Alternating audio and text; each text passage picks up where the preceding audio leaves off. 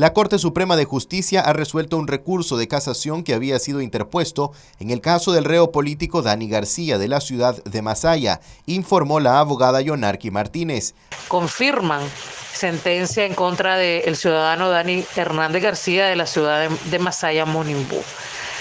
Tres delitos a los cuales eh, eh, suman 16 años, 9 meses y una multa de 36.500 Córdoba, multas en días que se tendrá que depositar en un lapso de tiempo eh, de un mes estipulado por, por la Corte Suprema y que será destinado, según la sentencia, para el sistema penitenciario nacional, para el mantenimiento del sistema penitenciario nacional. Como su abogada defensora eh, decepcionada, lamentablemente no es de esperarse, eh, o sea, era de esperarse la resolución.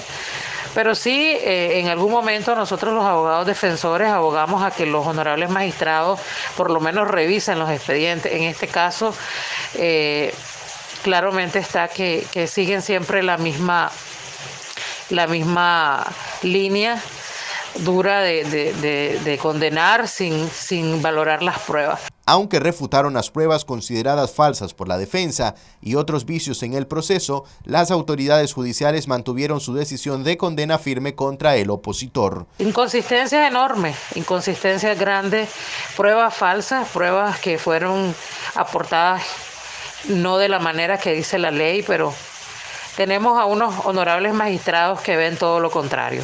Quizás en algún momento eh, vamos a tener eh, unas resoluciones conforme a derechos y se pueden analizar, pero en este momento una resolución para mí descabellada. Eh, el joven Dani García, Dani Hernández García, se encuentra en el sistema penitenciario nacional eh, y ahora ya no, ya no cabe ningún recurso. Marcos Medina, Noticias 12.